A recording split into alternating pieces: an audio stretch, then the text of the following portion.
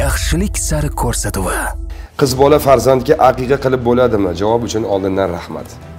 Sharoiti yo'q ota farzandiga aqiqa qilishligi qaynonam menga ularning ehtiyoji uchun pul bermaydi. Shuni turmush o'rtog'imga aytsam u menga berkitib pul jo'natib turadi. Uzoqda yurgan safardagi vatandoshlarimiz buni noto'g'ri tushunishyapti noto'g'ri qabul qilishyapti.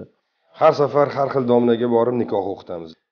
Erim yetti marta qayta nikoh o'qitdi inshaalloh yechim shunda chiroyli bo'ladi xudo xohlasa. Hozirgi paytda ko'chalarda ayollarning to'plangan chigal sochlarini turli buyumlar evaziga almashayotgan qo'sh tirnoq ichidagi tadbirkorlar uchramoqda. Yo'q man iloji yo'q man tepa joyda e, yashayman. Gap shundaki ular chaqaloqligida qulog'iga azon aytilmagan. Hech qanaqangi bir uzrga bir yo'l yo'qda hozir.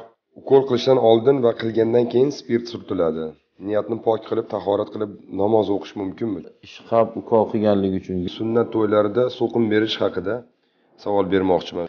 Ayollarni xotinlar ishga aralashma deb qo'yadi yo'q dinimiz o'zi aytadi aslida aralash deydi. Assalomu alaykum hurmatli shukurlar domla. Savolim shundan iboratki men ikkinchi ayol bo'lib turmushga chiqqanman.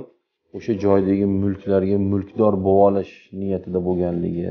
Assalomu alaykum. ikki ming o'n to'qqizinchi yilda o'g'limni uylantirdik.